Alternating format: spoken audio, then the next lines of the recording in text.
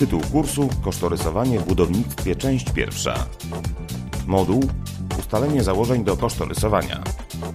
Temat Określanie nakładów kosztorysowych z wykorzystaniem metod interpolacji i ekstrapolacji w programie Norma Pro. Dziś opowiem Państwu o programie Norma Pro, który pozwala wykonać proces interpolacji automatycznie, bez dokonywania jakichkolwiek obliczeń. Nie wszystkie pozycje nam to umożliwiają. Co musimy zrobić, aby program nam to wykonał? Klikamy na katalog KNR 2 02 tab 1922. Załóżmy, że grubość naszej ściany wynosi 34 cm. W oknie podświetlamy betonowe ściany o grubości 40 cm.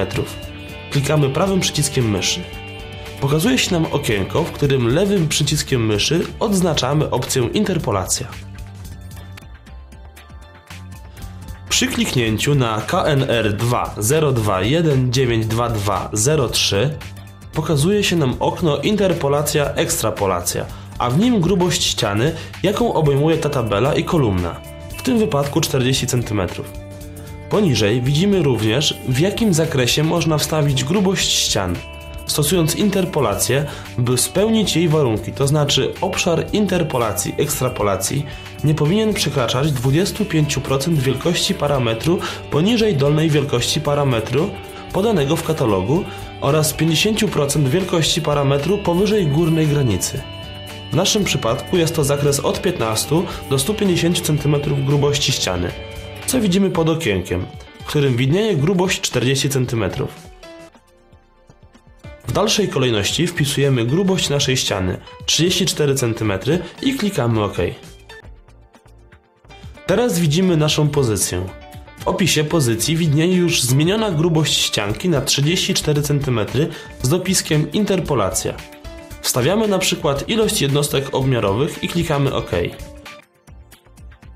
Następnie ukazuje się nam okno z nakładami rzeczowymi dla interesującej nas grubości ściany z pośrednimi wielkościami dla ściany grubości 30 cm i grubości 40 cm. Mamy więc robociznę 0,9416 roboczo-godzin na metr sześcienny, deskowanie 0,16344 maszynogodzin na metr sześcienny itd. Tak Zauważmy też, że w kolumnie podstawa wyceny mamy podane 1922 0203, to znaczy podano kolumna 02 i kolumna 03, między którymi dokonano interpolacji nakładów rzeczowych. Gdybyśmy wstawili dla grubości naszej ściany 34 cm pozycję bez interpolacji, np. dla 30 cm, nakłady rzeczowe wyglądałyby jak na planszy. Robocizna 1,824 dziesięciotysięczne roboczo-godziny na metr sześcienny, deskowanie 0,1816 maszynogodziny na metr sześcienny itd. Tak Pokazałem jak w programie przeprowadzić interpolację. Teraz pokażę, że w podobny sposób przeprowadzamy ekstrapolację. Początek jest taki jak w interpolacji, więc kiedy pokaże nam się okienko, wpisujemy interesującą nas wartość. Tak jak poprzednio wpisaliśmy 34, tak teraz wpisujemy na przykład 120 cm, czyli poza zakresem tabeli. Klikamy OK i przechodzimy do następnej planszy numer 4a. I znów widzimy, że w opisie pozycji zmieniła się grubość ściany na 120 cm, czyli taka, jaką podaliśmy z dopiskiem ekstrapolacja. Po wpisaniu ilości jednostek, my wpisujemy 1 i kliknięciu na OK wyświetla się okno. Widzimy tutaj naszą pozycję przedmiarową. W kolumnie podstawa wyceny mamy jak poprzednio podane kolumny tabeli, na bazie których program dokonał nam ekstrapolacji 1922 0908. Mamy teraz właściwe nakłady rzeczowe policzone przez ekstrapolację, to jest robociznę 0,3131 roboczo-godzin na metr sześcienny. Deskowanie 0,465 dziesięciotysięcznych maszynogodziny na metr sześcienny itd. Tak Gdybyśmy przyjęli nakłady dla grubości 100 cm, bo taka byłaby ostatnia kolumna tabeli, mielibyśmy nakłady widoczne na planszy numer 4C. Widzimy tutaj, że w podstawie wyceny widnieje kolumna 09, czyli ostatnia kolumna tabeli. Brak jej dopisku ekstrapolacja grubości ściany w opisie pozycji jest 100 cm.